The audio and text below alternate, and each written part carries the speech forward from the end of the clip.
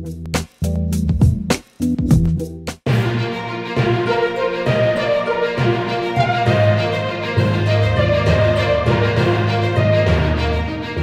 వివాదాలపై AP ప్రభుత్వం సుప్రీంకోర్టును ఆశ్రయించబోతోంది. ఇక్కడ ఏపీ లాజిక్ ఏంటంటే తెలంగాణ విద్యుత్ ఉత్పత్తి కోసం నీరు విడుదల చేయటం ఆపేసి రాజీకి రావాలి. లేకపోతే రెండు రాష్ట్రాల పరిధిలో ఉన్న జలాశయాలు జల విద్యుత్ కేంద్రాలను కేంద్రానికి అప్పగించేలా ఒప్పుకోవాలి. ఇదే నీటి సమస్యకు శాశ్వత పరిష్కారం అవుతుందనేలా సుప్రీంలో రెడ్ పిటిషన్ వేయటానికి ఏపీ సిద్ధమవుతోంది. ఈ మేరకు మీడియాకు లీకులిచ్చారు లీకులు అనటం కంటే తెలంగాణకు షాకులు అంటేనే బాగుంటుందేమో. జలజగడంపై జగన్ది మౌనం కాదు వ్యూహం అని ఇప్పుడు అందరికీ క్లారిటీ వచ్చేసింది. ఏపీ తెలంగాణ మధ్య శ్రీశైలం నాగార్జున సాగర్ పులిచింతల వంటి అంతర్రాష్ట్ర ప్రాజెక్టులున్నాయి. కృష్ణానదిపై నిర్మించిన ఈ ప్రాజెక్టులన్నీ రెండు రాష్ట్రాలకు చెరిసగం వస్తాయి. వాటి నిర్వహణ భద్రత వంటి అంశాలను రెండు రాష్ట్రాలు పర్యవేక్షిస్తుంటాయి. ఈ హక్కుతోనే శ్రీశైలం ప్రాజెక్టు నుంచి నీటిని నిర్దాక్షిణ్యంగా కిందకి వదిలేస్తూ విద్యుత్ ఉత్పత్తి సాకు చెబుతోంది తెలంగాణ. దీనిపై కృష్ణా బోర్డుకి లేఖలు రాసినా కేంద్ర జలశక్తి మంత్రికి ఫిర్యాదు చేసినా ప్రధానికి మొరపెట్టుకున్నా ఫలితం లేదు. దీంతో ఏపీ సుప్రీంకోర్టు తలుపులు తట్టబోతోంది.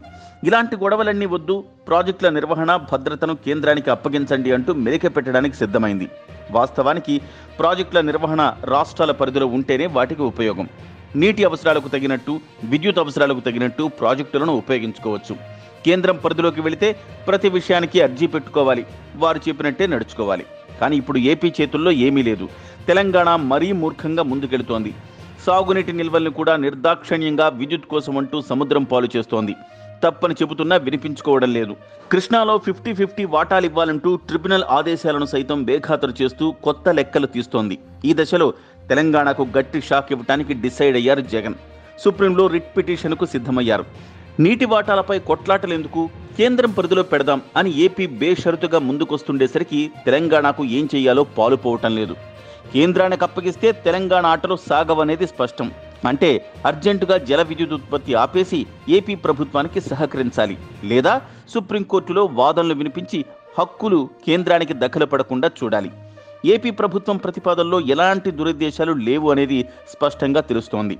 సో సుప్రీంకోర్టు తన పరిధిలో ఈ అంశాన్ని పరిష్కరించాలనుకుంటే కేంద్రానికి హక్కులు దఖలుపరిచే అవకాశం ఉంది. అదే జరిగితే అది తెలంగాణకు కోలుకోలేని దెబ్బ అవుతుంది. కేంద్రం పరిధిలోకి వెళితే నీటి వాటాలన్నీ సక్రమంగా ఉంటాయి. ఎవరి ప్రలోభాలు ఒత్తిళ్ళు ఉండవు. ఒక రకంగా సుప్రీంలో రిట్ పిటిషన్ పేరుతో కేంద్రానికే బాధ్యత అప్పగిస్తామనే వాదనతో తెలంగాణపై ఏపీ ఒత్తిడి పెంచుతోంది. ఈలోగా కేసీఆర్ సర్కారు వెనక్కి తగ్గుతుందో లేదో చూడాలి.